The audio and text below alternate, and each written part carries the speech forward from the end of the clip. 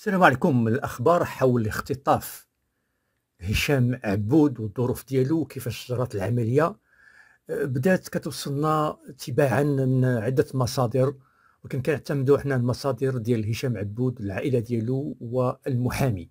والمحامي كان كيتحفظ ولكن اليوم دار تصريح حصري لقناة Medi1 TV وقال شي حوايج خطيرين خطيرين منهم اللي تاروا لي انتباه وهو أنه هاد الناس اللي اختطفوه كانوا غاديين الزودياك البحر باش يخرجوه لشي بلاد. فين كاين هاد البلاد؟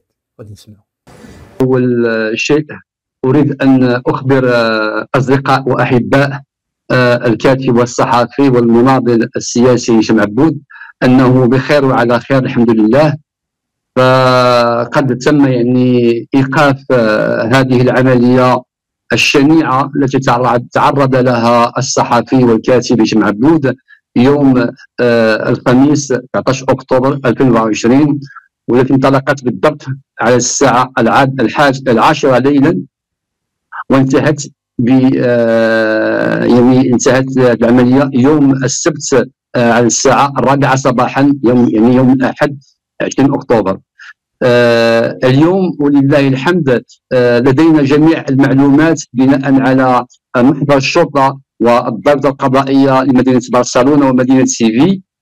آه فقد يعني تناولنا هذا البحث بالتدقيق وتبين لنا أن العملية كما قيل يوم أول يوم أن عملية اختطاف منظمة من طرف آه أنظمة سياسية معينة. آه، هشام عبود سيصل إن شاء الله اليوم على الساعة الخامسة إلى فرنسا قادما من برشلونة. هشام عبود تعرض للعنف الجسدي آه، وقد قاوم هذا العنف من طرف أربعة أشخاص يحملون جنسيات مختلفة.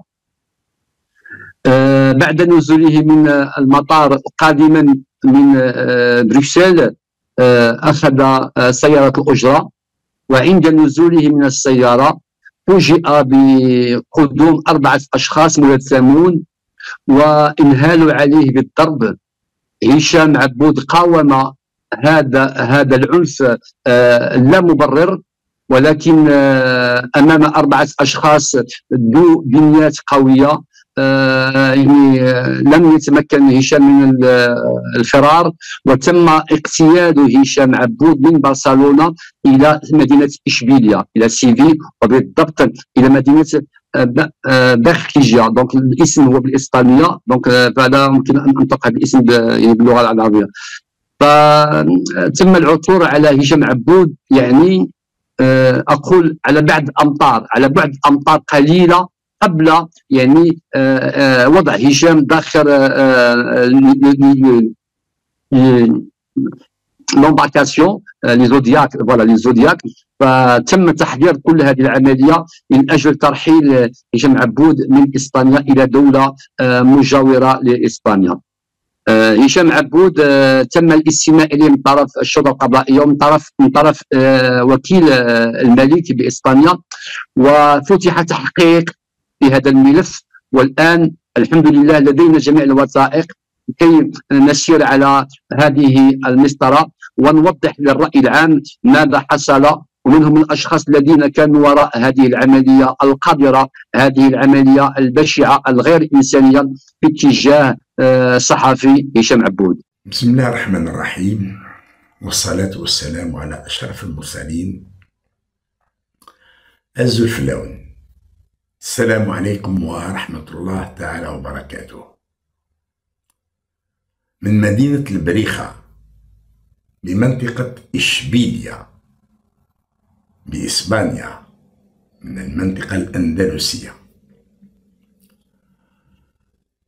يسعدني أن أتوجه لكم خاصة للأخوات والإخوان والأحبة والأصدقاء اللي افتقدوني تلك هذه الأيام الخمسة واللي آه، كثير منهم تألموا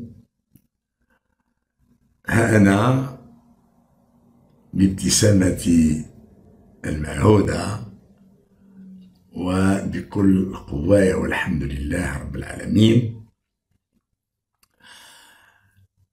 أتوجه لكم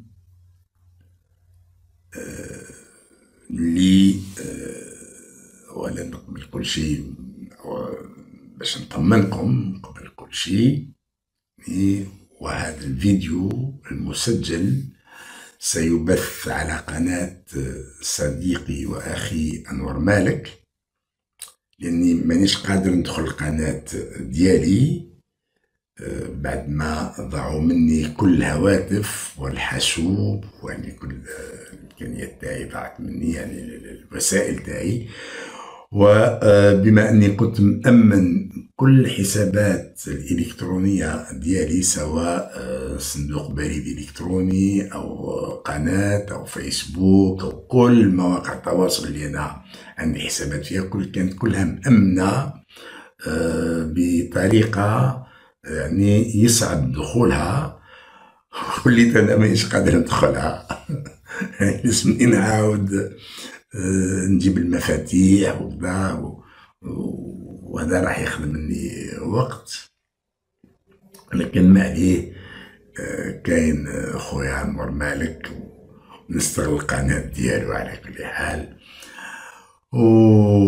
والعشية باش نمدو كل التفاصيل تاع هاد العملية آه، اللي كانت تمت بصفقة بين جهاز المخابرات الجزائرية ومخابرات إرهابية طبعا ومنظمة إرهابية دولية تنشط في إسبانيا. هكذا حتى تقدر باش تتجنب ما تخلي حتى آثار أنه النظام آه، الجزائري اللي هو كان دبر يعني آه، اختطافي ما عندي حتى عدو ما كان حتى جهة مستعدة تدفع ثمن باهظ لمنظمة إرهابية باش تخطفني وتسلمني ليها. ما كان حتى جهة. إلا النظام الجزائري. ما عنديش أعداء والحمد لله أنا ربي ساترني وربي حافظني. وحتى تدخل آه، جهاز الأمن الإسباني تم بإذن الله سبحانه وتعالى.